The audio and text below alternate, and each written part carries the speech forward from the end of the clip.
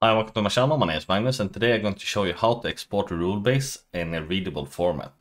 So I'm sure all of you have seen like the actions where you can actually export a rule base into a CSV file. So let's just call it rules here and I show you how it looks.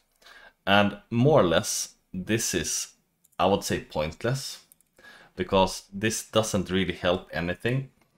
I mean, in current rule base, we have, um, well, like 12 rules in total.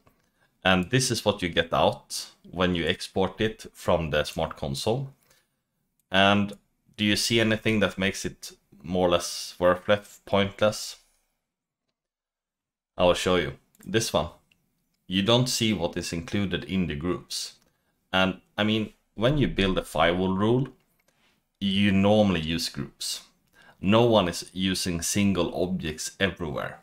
And it really depends also on your name standard. So this export to CSV, useless. It has no value, no value at all. So what can you do instead that actually provides you with a list of the rules with an easier format? Well, either you can just well take print screens of the rule base or you can provide like a web console or actually you can provide even a smart console but maybe this is not feasible for everything.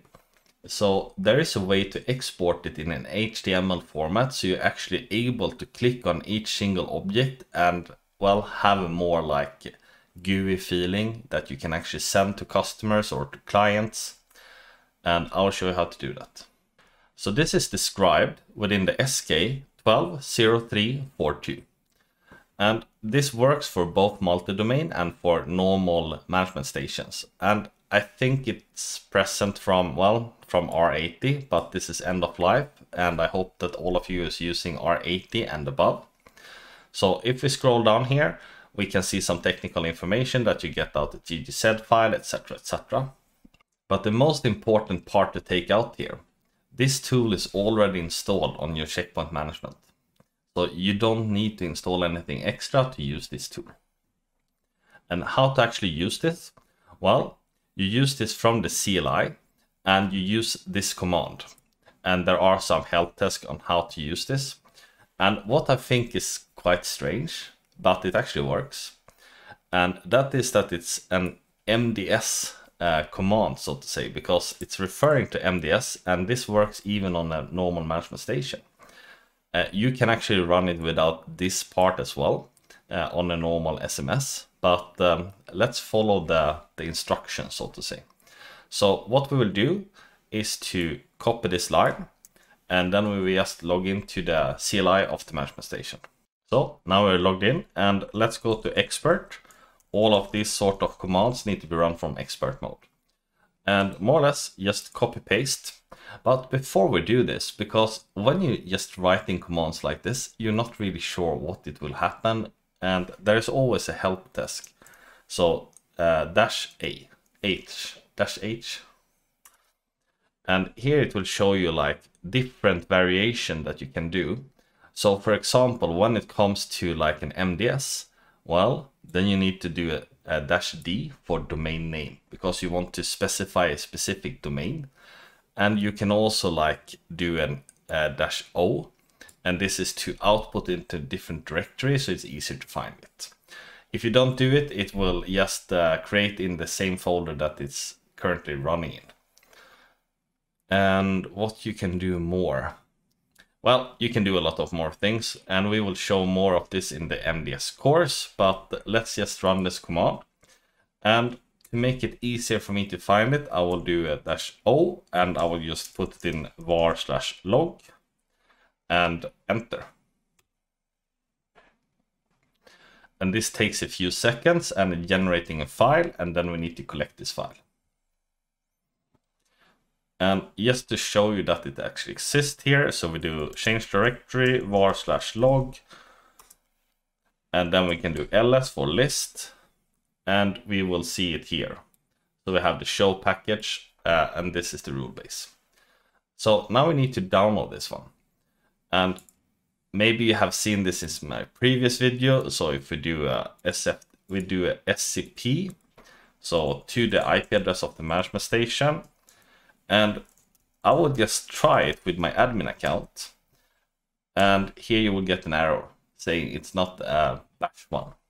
So I have already created an SCP user. So let's do that one instead.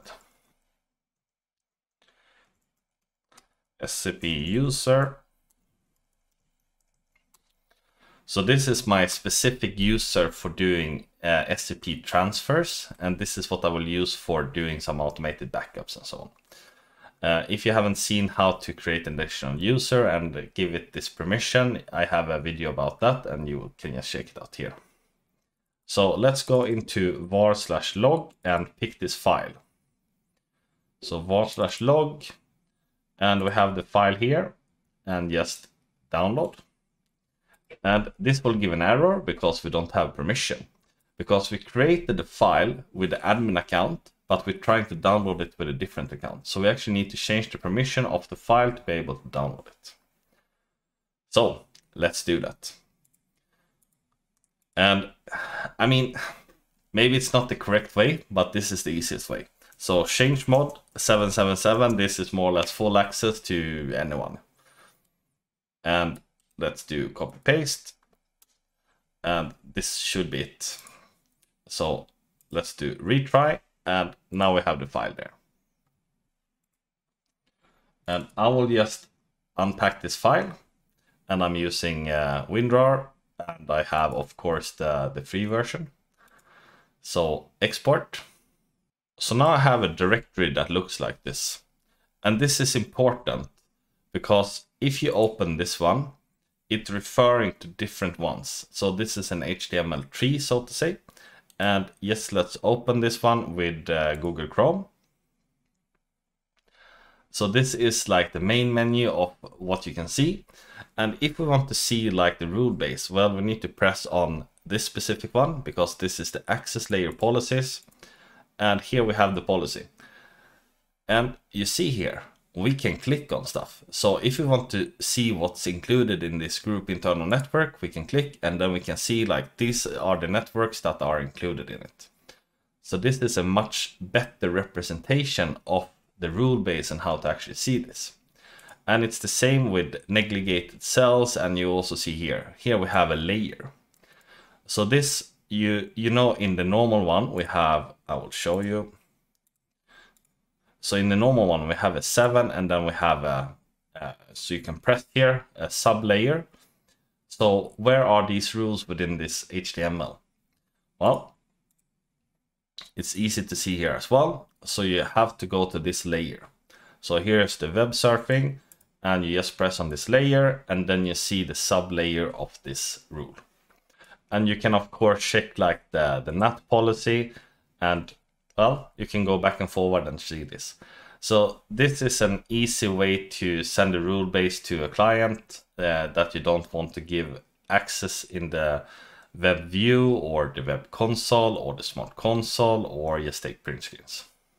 So I think this is it for this video. Thank you for watching and I hope to see you in the next one. Take care. Bye.